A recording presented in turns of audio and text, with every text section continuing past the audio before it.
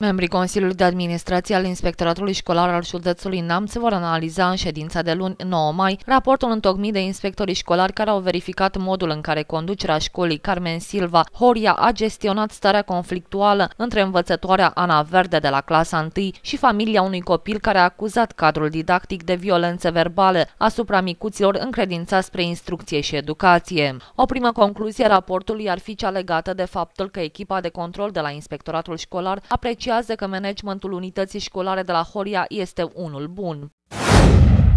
Echipa formată din cei inspector de management a ISJ Neamț s-a deplasat la școala Carmen Silva din uh, Comuna Horia, unde a efectuat uh, o activitate de monitorizare pe management, uh, respectiv managementul conducerii unității școlare. Concluziile vor fi prezentate în Consiliul de Administrație de luni 9 mai și ele se vor constitui în document oficial în relația noastră cu această unitate școlară. Uh, în, uh, ca idee de bază trebuie spus faptul că managementul de la Horia a fost un management în general bun și uh, s-a, managementul s-a adaptat perfect în condițiile de criză create de situația de acolo. Tot în ședința de luna Consiliului de Administrație se va analiza și raportul Comisiei de Disciplină a școlii, care a închetat ceea ce a adus la apariția conflictului de la această unitate de învățământ. Raportul respectiv a fost analizat în Consiliul de Administrație și uh, acesta va hotărâ uh, evoluția ulterioară. Ce se întâmplă cu învățătoarea uh, respectivă?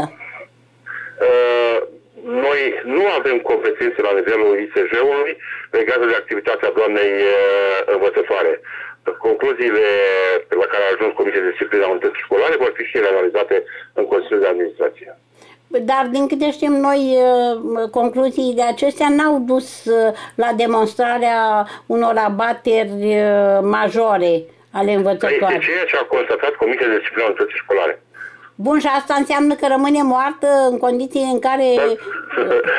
Asta înseamnă că cele două părți își, își continue demersul în justiție.